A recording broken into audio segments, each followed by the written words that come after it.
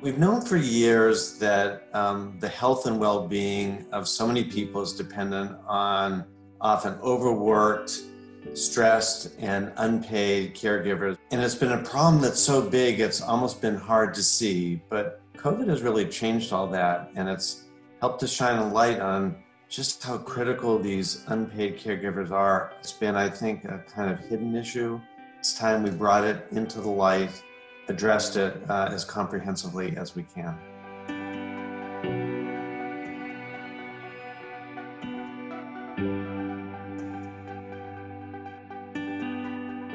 In this year, we lost my mother in April, my father in June, and my uh, younger sister uh, last month.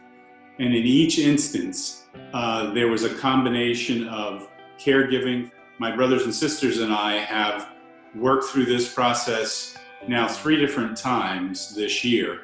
As you're going through an experience uh, like that in caregiving and in supporting uh, family members, you also need to be thinking about your own health, uh, about taking time to exercise, uh, making sure you're eating right, uh, making sure you're talking to somebody so that you have a resource and that you can unburden some of what you're dealing with in going through the experience. Caregivers are more likely to delay needed care, avoid their own urgent care. Uh, family caregivers twice as likely to report anxiety and depression, five times more likely to have increased uh, use of substances, and 10 times more likely, sadly, to consider suicide.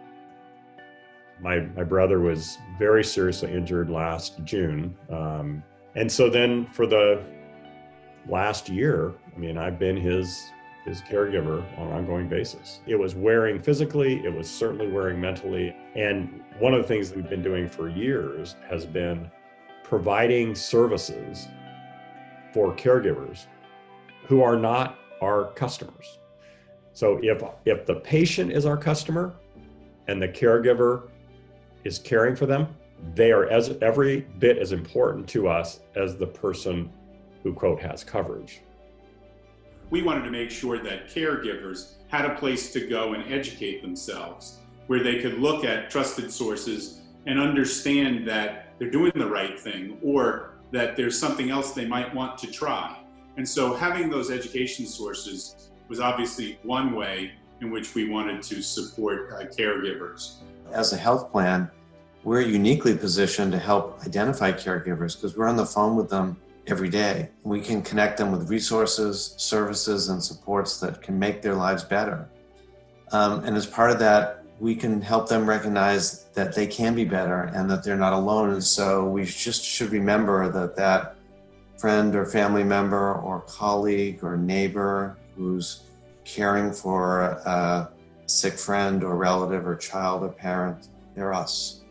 And there's going to be a time where we need support as a caregiver, as a patient. I've been there. We're all going to be there. And so reach out, acknowledge, recognize, and support caregivers in your lives.